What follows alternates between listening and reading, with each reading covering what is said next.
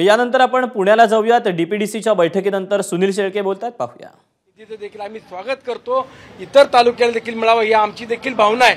परंतु मावळला अधिकचा निधी मिळत असताना आपण त्यामध्ये कुठलाही खोडा घालू नये अशी माझी विनंती लोकसभेबद्दल बोलत होत्या. तुम्ही विधानसभेबद्दल अचानक उत्तर दिलं. त्या मावळ लोकसभेबद्दल बोलत होत्या. मावळ लोकसभा मावळ तालुका. करायसाठी तुम्ही पटकन. मावळ तालुक्यापुरता हा विषय होता. बाकी विषय नव्हता.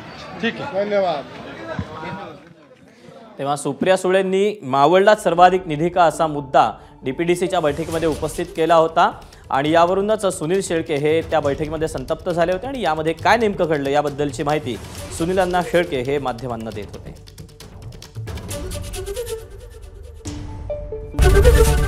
एबीपी माझा.